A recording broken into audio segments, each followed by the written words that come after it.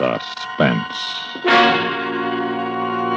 And the producer of radio's outstanding theater of thrills, the master of mystery and adventure, William N. Robson.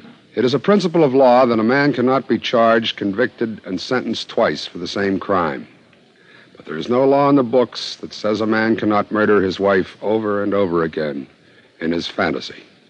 For a man of sufficient imagination, repetitive uxoricide can indeed become a pleasant way of bringing time to a stop, as Vincent Price accomplishes it in present tense, a tale well calculated to keep you in Suspense.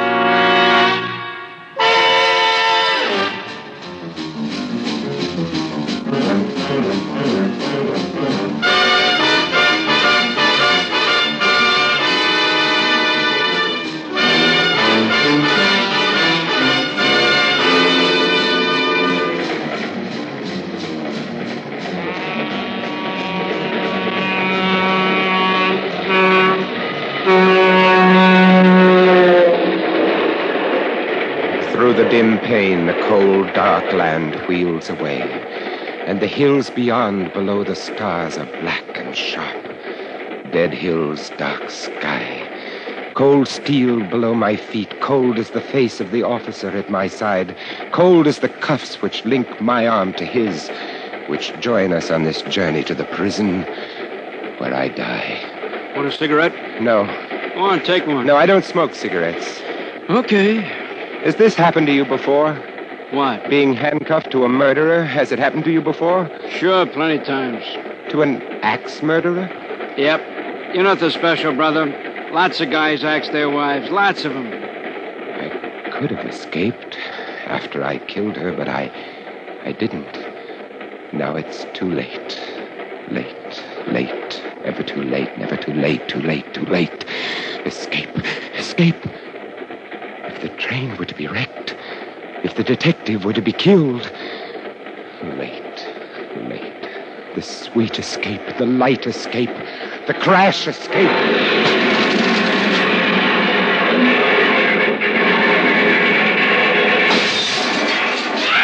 Oh, no. No. Oh, no. Oh, the darkness.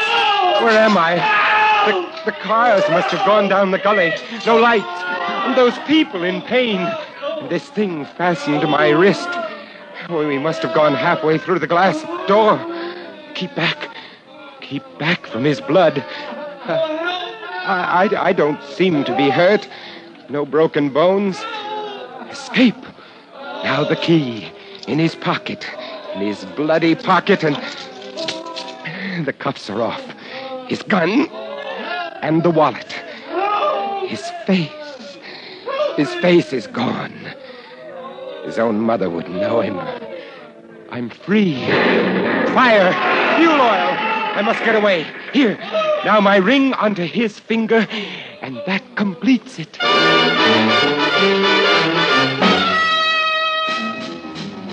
Bus number 63 from Bakersfield now arriving. Please claim your luggage at the curb. Bus number 14. from Taxi, San mister? Diego Yes, arriving. yes. Please claim your luggage. Where to? Up Beverly Glen above sunset. I'll, I'll show you where. Gotcha. Hey, read about a big train wreck. Yes. Understand almost a hundred were killed.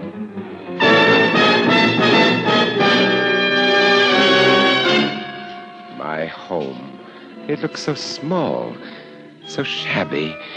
No one took care of it during the trial. No one cared. No one. No one cares now. But that's good. I like that. I'll be alone, and I won't let the neighbors see me, and I'll sleep and figure out where I go next. The lights are on. Someone is there. Ain't it slick, huh? the whole thing was so slick. You'll always be the brains for both of us, won't you, honey, huh? Always. No, no, it can't be. She's dead. I know she's dead. I killed her. Want another bottle of beer, honey, huh? Yeah, sure. Is it cold? You bet it's cold, honey. but I'm not. you said a mouthful there. Mm. That husband of mine was never able to make me feel like this. Well, it takes a man, baby. All he would do was sit around and write those poems all the time. We framed it so good that he even thought he killed you. Hmm. What was that? I, I heard a noise. Mice.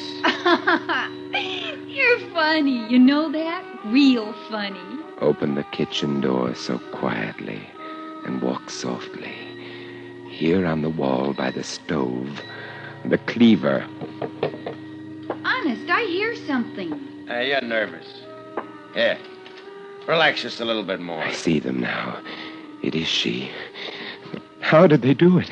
How did they trick me into imagining the murder? I, I am innocent. Sweetmeats. That's what you are. Sweetmeats. Mm, lover man. The pig in his dirty undershirt, soft, weak, white neck, fat on his arms, pink. Grip the cleaver and walk like a feather. He shall be the first. Soft, white neck. I, honestly, I hear some. What's the matter, Sweetmeats? What's it? You killed him! Yes. And now you. No!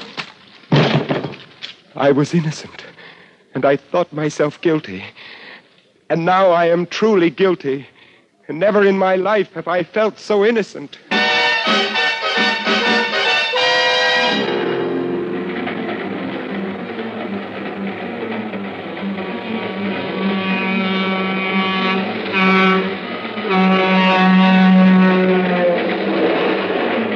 Like a dream, like a nightmare, the confession, the conviction, the sentence. And now once more, dark night, cold steel, the sound of wheels. Just as I lived it before. Why, even the cold face of the silent officer at my side. Hard, cold face, so much like that other face. Want a cigarette? No. Oh, go on, take No, one. I don't use them. Okay. Has this happened to you before? What? Being handcuffed to a murderer? Has it happened to you before? Oh, sure, plenty times. To an axe murderer? Yep. You're nothing special, brother. Lots of guys axe their wives. Lots of them.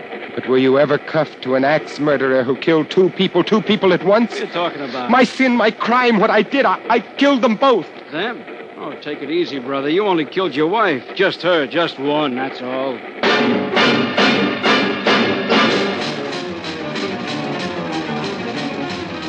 In a moment, we continue with William and Robson's production of Suspense. Looking for a new lease on life? Never mind the legal language, just tune in on the happy things that happen six times a week on the Amos and Andy Music Hall. New and old song favorites say cheerful things with music. Remember, the fun is on the house every Monday through Friday evening and each Saturday in the daytime when the Amos and Andy Music Hall comes your way.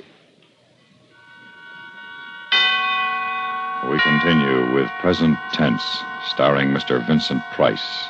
A tale well calculated to keep you in suspense.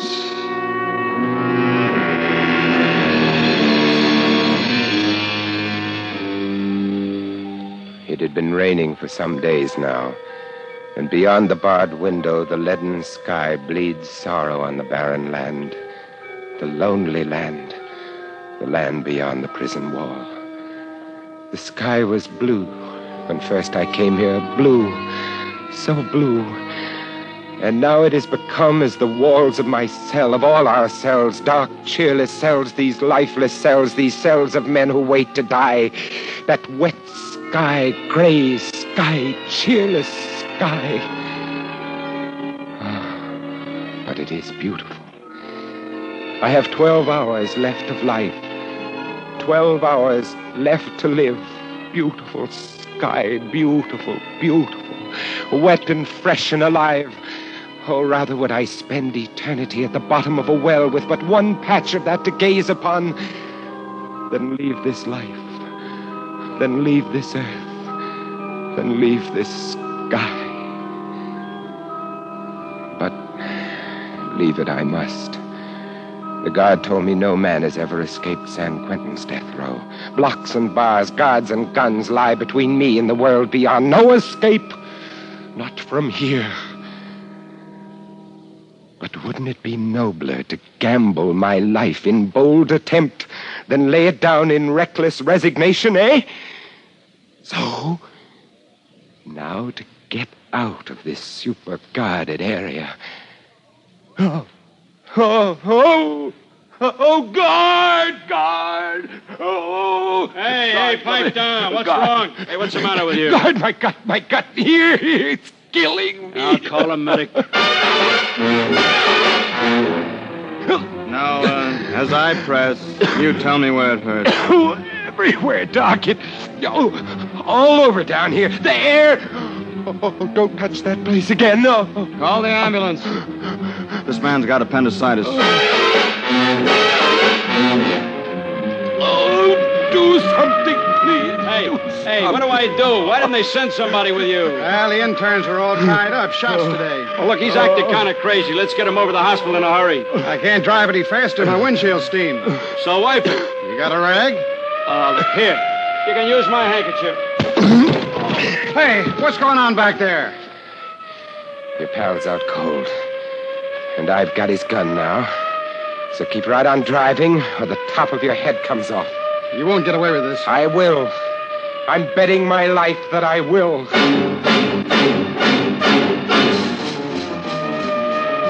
How far back is the prison? How about, oh, 15 miles, at least that. Okay, pull over. Okay. I'm taking her from here. And you, I want your money and your clothes. And then you can take your pal back and explain about me. They won't find that ambulance for days, not at the bottom of that canyon. And now, I cross the border on foot and into Mexico. A little card bought in a back room with no questions asked, and I became a tourist.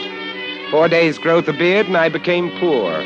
An empty suitcase with a butterfly net strapped to its outside, and I became a source of merriment, a, a funny, dumb gringo. And who looks with suspicion on the funny, dumb gringo tourist who is poor?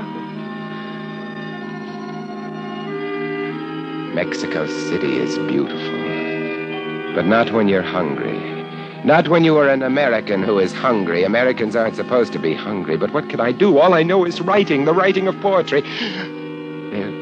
There, is one place I might sell some poems. Harlan, his magazine prints some English stuff. Perhaps, well, well, why not? I have three pesos left. Buy some paper, a pencil, sit in the park, write, and storm the bastions. Yeah. Good.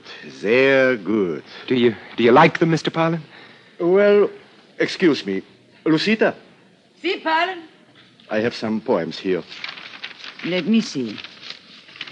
The river dappled, dreaming, droppled, fester passion of my soul.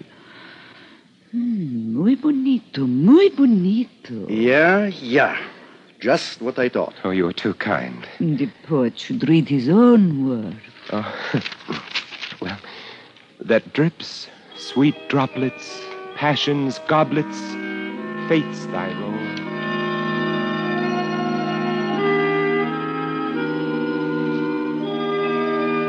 Lucita likes your stuff. A rare woman. And I like what Lucita likes. Aha. She says we do a book of your stuff. Oh? So here's an advance. Too much. Take it. When the book? 30 days. Right. Got the poems? I'll get them. Your name is? Is Smith. No good. Two dollars. So true. I'll make a new one. Please do. And so? Good day, and I'll be back. In 30 days. With the poems. America. Miles below, the bleak brown mountains, the desert, yellow and red, my own mystic land. My advance money went for new clothing and a round trip plane ticket to Los Angeles, and my new lease on life. In a small file under the eaves of the little house in Beverly Glen, there are poems. More than a thousand of them. Poems which no one has ever seen. Poems written in the evenings after work on Sundays. And now, with the beard and the hat and the glasses, no one will recognize me. a cane. Yes, I ought to carry a cane to get the poems. Does someone live there in the house? Has someone bought it? No matter.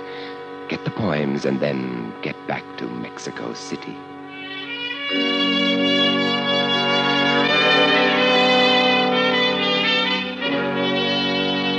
Hmm. Someone is living here.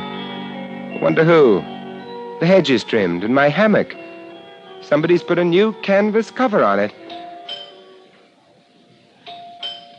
Fred, get the door. Get it yourself, baby. I'm shaving. Oh, all right.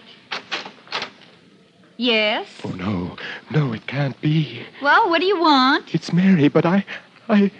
I thought I. I, I killed her. Who is it, baby? What is it, mister? What do you want here? Are. Are you the lady of the house? Huh? Who's that at the door? Some creep with a beard. Yes, I'm the lady of the house, but I don't want to buy nothing. Well, what is it, Santa? What do you want? Are you the man of the house? Yeah, I'm the man of the house. Huh, sweetmeats? I'll say. So, what of it? Well, I'm making a survey. I'd like to ask a few questions. May I come in? I don't know. I'll let him. What's the difference? Thank you. Thank you. Well, first your name. My name? Yes, please. Uh, Fred Sneed. Where's he going? Mister, what do you want in my kitchen? The cleaver, Mary. Don't you know me? Mary. Hey, who are you, mister? Look close, Mary. The cleaver. Put it down. You know me? No. Know the man you tricked into San Quentin? No, don't. Put down that. You killed him! Yes. And now you. No!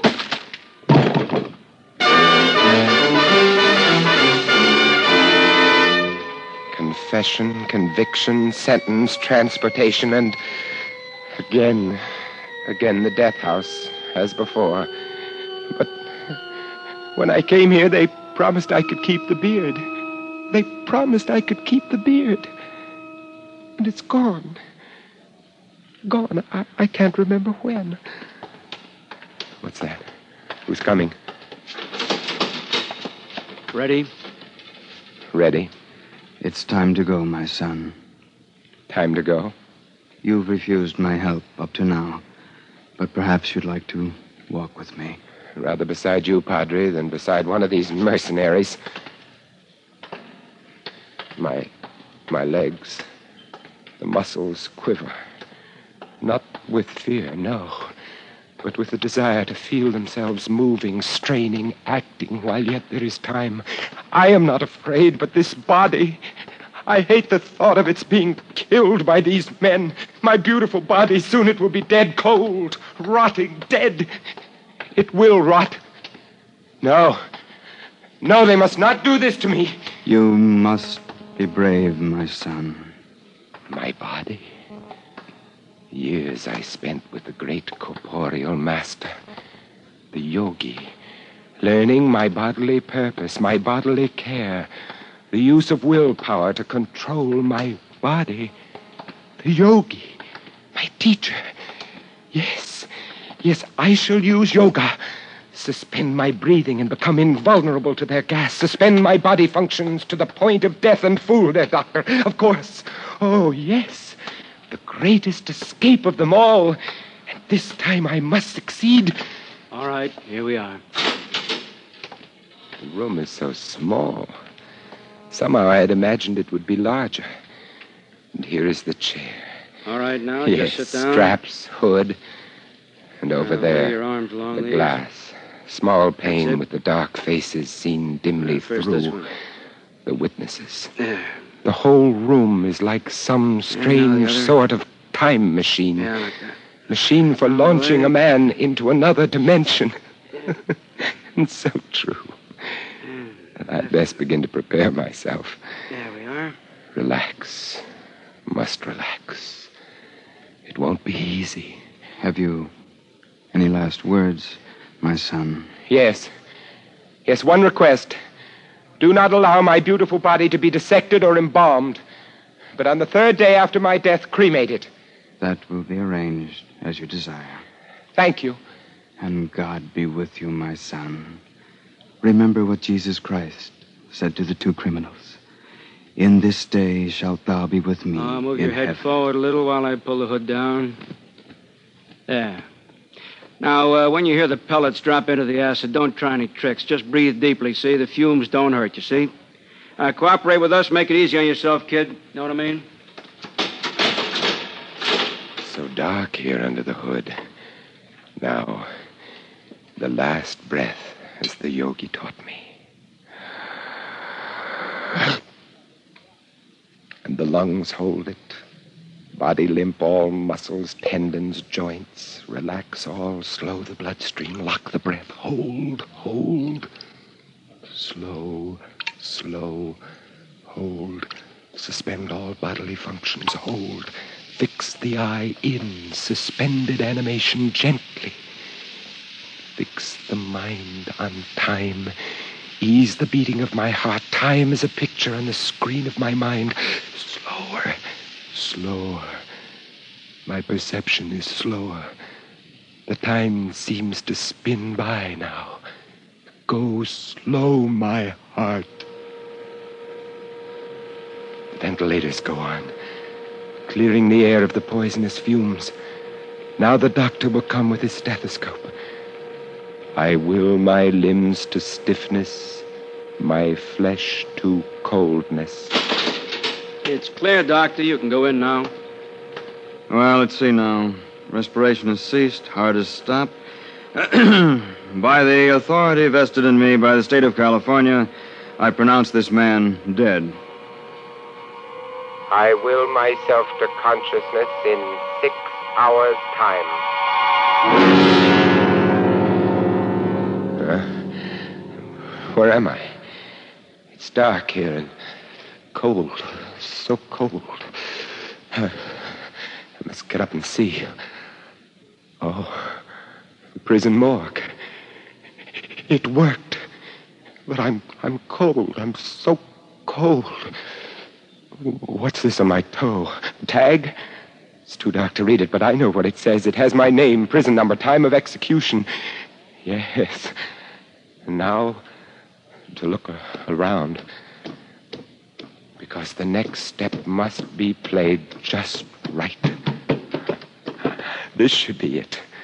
A coffin crate ready for shipping, some cadaver being returned to a sentimental family. Well, that ought to be just right. and with him on my slab, my tag on his toe, and the most perfect escape of all time underway, here we go. I will my body to return from its state of suspended animation and to come immediately out of trance when next this coffin shall be opened.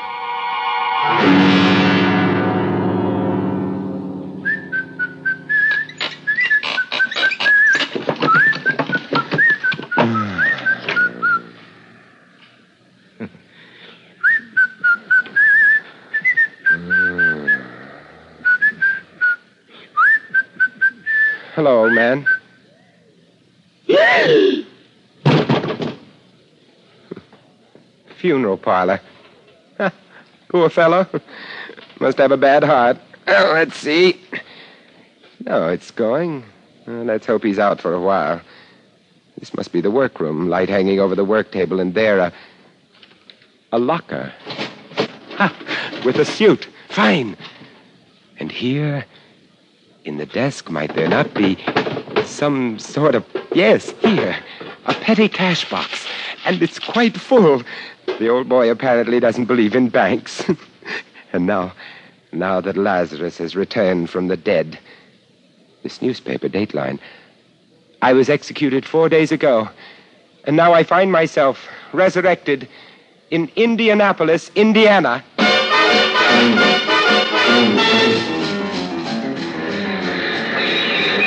Los Angeles, California. This is Los Angeles. You can claim your baggage in the station or on the platform. I'd return to my home. A beautiful time to return home. My old hammock is there. My flowers, my yard. the house is empty. The lawyer said he'd had it cleaned up.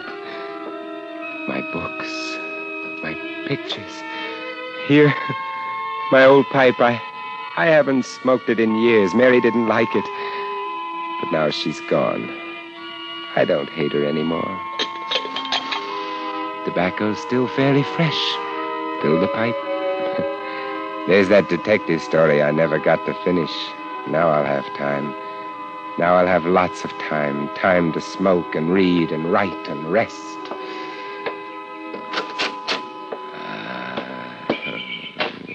Almost down. Twilight. Wonderful time to get outside. Cool, sweet air. Wonder what kind of birds those are. My hammock. Mm, so nice. Light the pipe. Ah, and relax.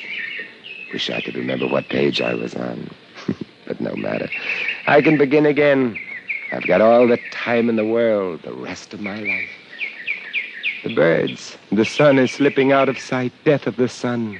How red the sky. How soft those clouds. So lovely. So lovely. What's that? Oh, birds playing in the fish pond. Look at them happy birds. That hissing. Oh, the man next door is turning on his lawn sprinkling system. Lie here and smell the cool air. Evening coming on, the sky grows darker. Lie in the gathering twilight. Death of the day, birth of the night. Sweet softness of the summer night coming. Soon the stars. Oh, it's lovely. Heavenly, just like heaven. Lie and swing to and fro, to and fro. Heavenly.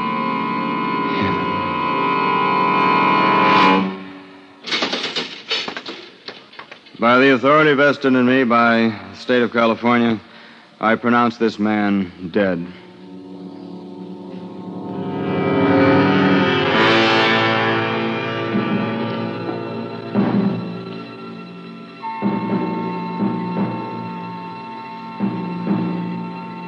Suspense. In which Mr. Vincent Price starred in William N. Robson's production of Present Tense by James Poe. Listen. Listen again next week when we return with Raymond Burr in the Peralta Map. Another tale well calculated to keep you in suspense. Supporting Mr. Price in present tense were Ellen Morgan, Peg La Centra, Jack Kruschen, Daws Butler, Joe DeSantis, Charles Radulac, and Sam Pierce. Original score composed and conducted by Amerigo Marino. CBS Radio is sure you'll agree it's as important for a young man to find the right niche in his military career as it is for him to choose the right college or trade school course. To make it easier for any young man to decide which choice will fit in best with his abilities and goals, a free booklet has been prepared. It's obtainable on request. The title of the booklet is It's Your Choice. All you need to do to obtain your copy is write to It's Your Choice, Washington 25, D.C. Why not send for your copy today?